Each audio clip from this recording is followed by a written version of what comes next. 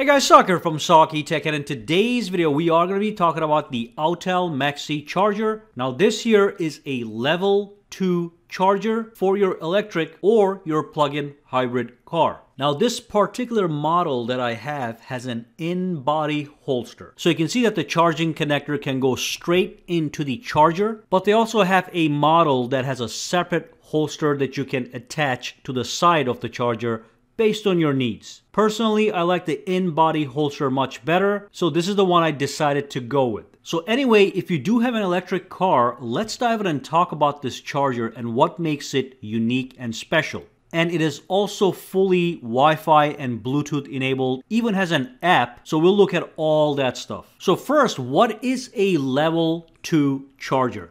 Now when you normally buy an electric car or a plug-in hybrid car, you get a level 1 charger included most of the time. A level 1 charger plugs into a standard outlet and charges very slow. And most people don't like that. For example, using a level 1 charger, a Tesla basically trickle charges, which is as low as 2 to 3 miles of range per 1 hour of charge. That is slow. So most people like to upgrade to a level 2 charger, which is going to give you, depending on the kind of car that you have, up to seven times faster charging speed. So here's a real life example. Here's my BMW X5 45e. This is a plug-in hybrid car. When I purchased it, it came with a level 1 charger and it takes 22 hours to fully charge this battery from 0 to 100. So I switched over to the Autel Maxicharger and now I'm able to charge from 0 to 100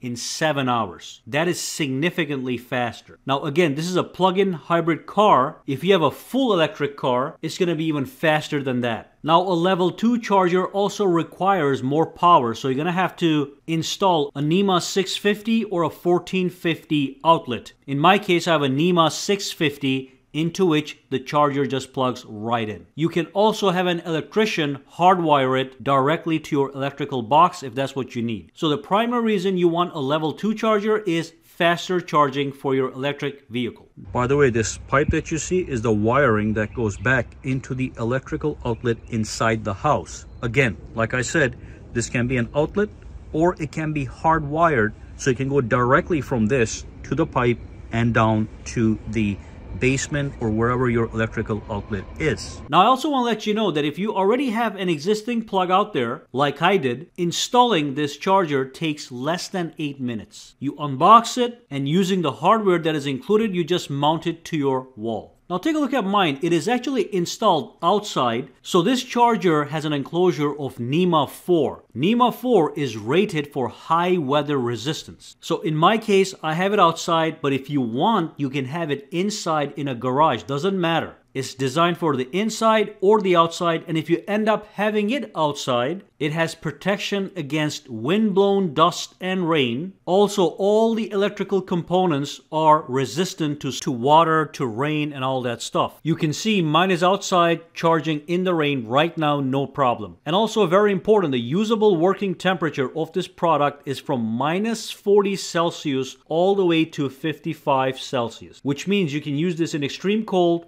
or extreme hot weather, no problem. Now you can see there's also an app that you can use to log into this charger and you get all the information inside here.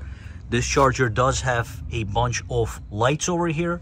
So that's the power light, that's the internet, that is the charging indicator, that's the Bluetooth, and that is if you're using an RFID card.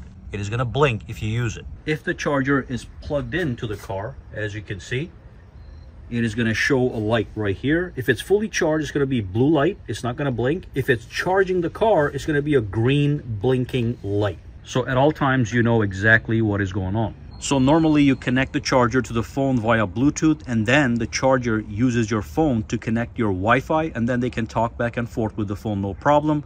And you can get a lot of information on the app that I'm going to show you right now. All right, so here we have the app. You can see that we have a really nice interface.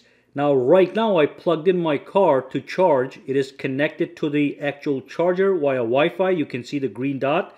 And you can see exactly how many kilowatt hours it is charging and also how much it is actually costing me. Now, if I click on this one, I get even more details. It says charging, Uh, for how long? For 34 minutes, 3.7 kilowatts.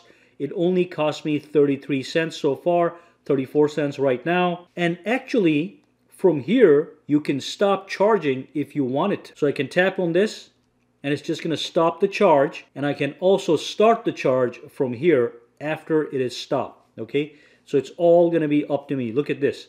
The charger is in the car's charging slot. So if I click on start, it actually starts to charge right here. So you have all this control right from the app. Even gives you a breakdown of how much energy you have used this month for charging and the corresponding cost. Now, if you go to me, you can actually go into the charger and you can set your own price. So everybody's electric cost is a little bit different. You have to look at your bill. What's your rate per kilowatt hours? As you can see, and then you can come here and you can actually set that price yourself. Alrighty, so you can get an accurate pricing on how much you have spent on electricity for charging your car. And then you can see here, we even have a firmware update tool.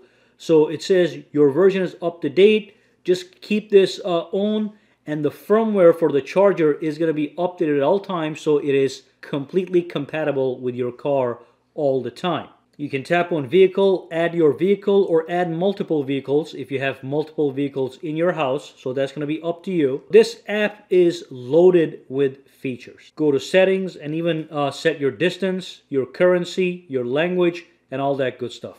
All right. Now, one more thing I want to let you know is this cable is a high quality, thick, weather resistant cable.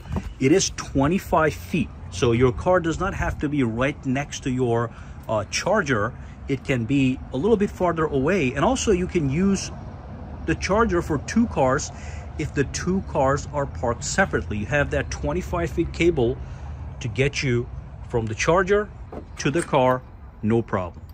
So again, links to buy this charger are going to be down below. If there's any sales, the discount code is going to be down below as well. And remember, one of the biggest things with this charger is the fact that you're looking for level 2 charger for faster charging of your electric or plug-in hybrid car.